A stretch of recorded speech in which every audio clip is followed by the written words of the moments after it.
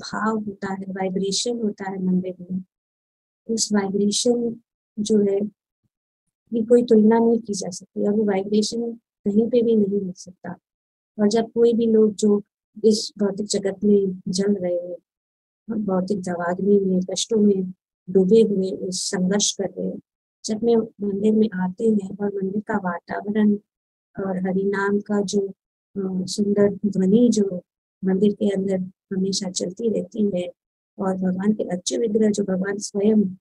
और हम आगे देखेंगे कि किस प्रकार से भगवान का दर्शन लेने से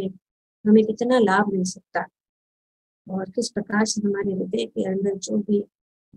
कष्ट है, वो सब मिट जाता है साथ दर्शन के साथ साथ एजुकेशन इसीलिए हर हर समय जो है, कभी भी हम जाएँगे तो शिक्षण भी साथ साथ चलता है। श्रीमद भागवतम गीता ग्रंथों का शिक्षण वगैरह